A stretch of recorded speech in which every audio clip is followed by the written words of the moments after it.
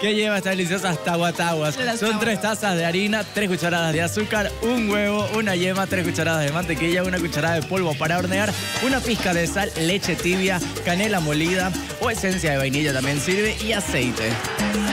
También a eso, para el dulce de empanizado se necesita media taza de azúcar, una taza de agua, 200 gramos de empanizado, canela en rama cantidad necesaria y zumo de limón.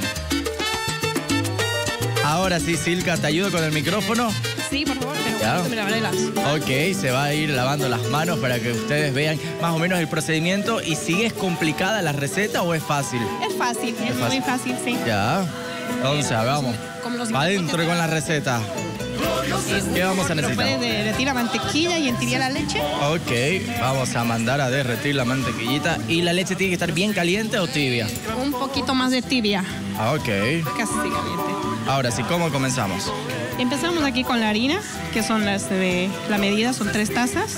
¿Cualquier tipo de harina o hay alguna en específico? No, es la harina común, la, la, la terceros. Ya, ok. Terceros. A esto le agregamos el azúcar, Azurquita. Esta masa no lleva levadura, no lleva polvo para hornear. lleva polvo para hornear, porque esta se la va a freír y lleva pol- polvo para hornear. Ya. Pues el procedimiento es rápido, porque cuando es con levadura sí lleva más tiempo, ¿no?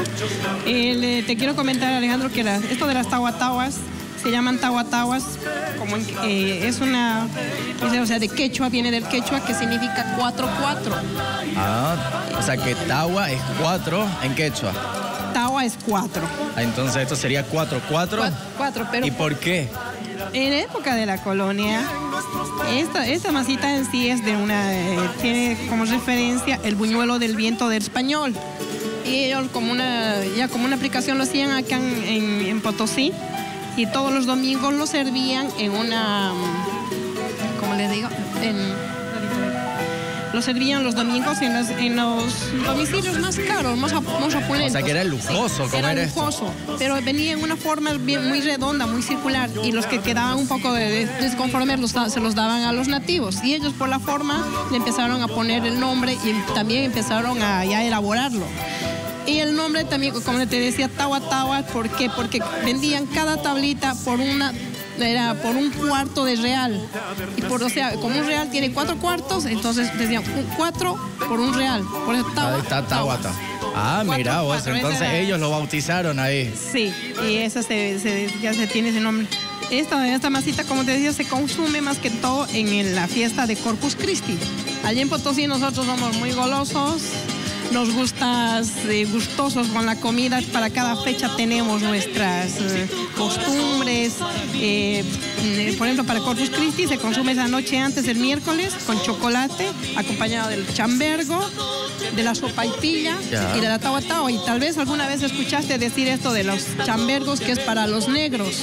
Y ¿En serio? sopa No, y no. pillas para las semillas y las tawa tawas para las guaguas, que no podía faltar. Ah, mira vos, entonces diferentes recetas eran diferentes platillos para diferentes personas igual. Sí, de un dice es fácil porque el chambergo es una, como una rosca. El chambergo yo sé que es un paso de caporales nomás, pero no sabía que era un plato dulce. Eh, No, el chambergo no es, eh, más que todo no es un, ¿qué se llama? Bueno, es, es un dulce, es un como un rosquete, igual bañado en almíbar. Qué rico. Aquí estamos entonces añadiendo la mantequilla derretida, la leche de a Sí, poco, habíamos añadido polvo para hornear, Y luego el huevo. el huevo, azúcar y una pizca de sal creo que le Sí, echó, ¿no? una pizca de sal. ¿Ya? ¿Huevo entero o solo yemas? Eh, es, una, es un huevo entero y una yema. Ya, todo junto entonces. Sí. Ahora la opción es la, la, la tahuatahua misma, o sea, es- solamente es esto, ¿no? Pero se le puede echar, se- si uno gusta, le puede saborizar, uno con, saborizar con vainilla o canela.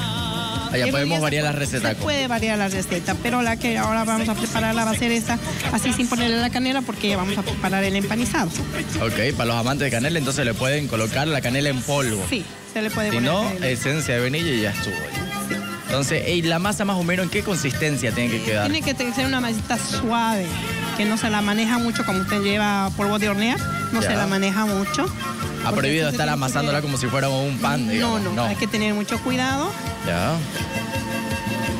Y ahí de a poco vamos a ir añadiendo la leche. La leche. Importante que esté tibia igual. Sí, que esté tibia. Tiene que Y si está tibia. fría, me arruina la preparación. Eh, Este, bueno, aquí en el clima que tenemos acá en Santa Cruz no, no va a diferenciar mucho, ¿no? Pero claro, te lo calienta al aire libre nomás, con el calor que estamos sufriendo. Bien natural, la verdad. Ahora sí ya no hay necesidad de estar. No hay necesidad de llevarlo al microondas para calentar la temperatura ambiente y ya está ya tibia ya para hacer. Entonces nosotros de a poco vamos a ir colocando nuestra lechita por acá, nuestra masa. Después vamos a volver para que ustedes vean la textura ideal y luego eso se manda a freír. Sí, y eh, luego vamos a preparar otro, lo, vamos a la masa hasta que esté así en un rato oreando, vamos a preparar el, almíbar. Pero, eh, vamos a, me, estuve adelantando preparando el almíbar, que le puse el azúcar según la receta, el agua y las rajitas de canela. Después de hacerlo hervir un rato, le agregué la chancaca. Ya, y eso lo dejamos que se disuelva. Le dijimos que se disuelva, que va a ir hirviendo y luego va espesando. Ya. Y ya para terminar le vamos a echar unas cuantas gotas de limón. Eso es lo último y ya lo, apagamos. Sí, ahí lo apagamos. Ok, ¿y cómo vamos con nuestra masita? la masita la dejamos, lo hemos dejado un rato oreando y ahora vamos a proceder a cortar.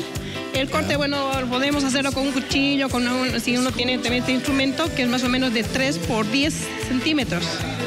Ahí lo cortamos directo. Y de unos de, milímetros. De la misma masa hacemos varias porcioncitas y lo que hacemos es estirar, digamos. Sí, luego estirar de unos 3 milímetros para que sean delgaditas y se puedan inflar, porque esa es la tahuatahua sale infladita. Ok. Bien. ¿Y ahora qué vamos a hacer? Vamos a cortar de unos Para que se vea más prolijo. Sí. Ok, entonces vamos cortando. Esto ya es al ojo, digamos. Sí, al ojo. Si no tenemos esta herramienta, puede ser directamente, directamente con, un cuchillo o con la... Perfecto, Cinca. ¿Y usted tiene sus restaurantes? ¿Dónde podemos hacerle los pedidos? Eh, yo les invito, yo tengo un catering. Ya. Es cocinar con Z. Ya, cocinar con Z. Eh, ofrecemos eh, de lunes a viernes almuerzos ejecutivos, almuerzos saludables. todo viene acompañado de sus postres. el buffet se caracteriza más por los postres que enviamos. Entonces, les de todo De todo hay.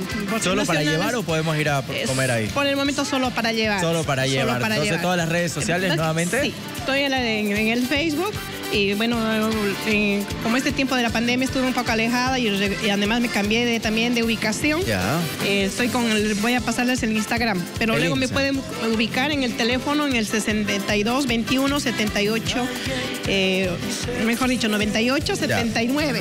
Por favor. Otra otra vez porque nos chipamos ahí para que la gente se lo llegue a anotar. Otra vez el número para comunicarnos con usted. 62 21 Ya. 78 97. Esa, y búsquenla y llámenla directamente aquí. Esto después ya de porcionarlo, ¿lo mandamos a freír o, que, lo, tenemos que dejar descansar? No, lo mandamos a freír y ya luego la ponemos en... Mm, el de chancaca. Ok, a ver. ¿Podemos enviarlo hay que dejarlo descansar? allá directo. Entonces ya lo porcionamos ya. Si no tienen esta herramienta, lo pueden hacer con cuchillo ahí. Con cuchillo, no hay problema. Con lo que tengan en su casa, igual, para no dificultarse. ¿Aceite súper caliente o tienen que estar medio, tibio? Medio tibiecito. Ok, le vamos a aumentar entonces la llama del fuego. ¿Y esto cuánto tiempo hay que dejarlo que Hasta que doren. Solamente tiene que dorar, va a empezar a inflarse ahorita. Esto no salpica nada, No, no salpica, no. ¿Hay que darle la vuelta o hay que dejarlo hay que, ahí? Hay que darle la vuelta si, si es necesario. Ah, entonces nos quedamos acá nosotros fritando nuestras taguataguas y después le vamos a mostrar cómo quedan ya doraditas y ahí bien infladitas para colocarles recién nuestra jalea que hemos preparado. Igual ya nos enseñó Cinca. Mientras tanto, nos vamos acá a la mesada número 2 a ver cómo va ese platito. Ahora la vamos a emplatar o que le vamos a echar el almíbar. Yo me he quedado con las tantaguaguas del primero de noviembre. Ah, estas son tantaguaguas, estas son taguataguas. Estas son taguas taguas. Sí. Invito a todos, por favor, la invitación. Bueno, que si quieren este tipo de postre, también a, sopa y pillas o las licuras de Potosí. ¿A, ¿A mi, al número, al 6221. 9879 o si no 7786 4467 es cocinar Fred Caterín cocinar. Hacemos de lunes a viernes hacemos almuerzos ejecutivos almuerzos saludables. Y los fines de semana tenemos también especialidades o sea es a pedido. Ya. La milanesa estilo argentina. De todo ahí. Muchísimas gracias. Inca la esperamos. el plato estrella. La esperamos la siguiente para hacer el helado del camote. perfecto. Muchísimas gracias también a los chicos los que están en la parrilla ahí. Nos vamos chicos con el grito de siempre. ¿Qué queremos? ¡Queremos sabores!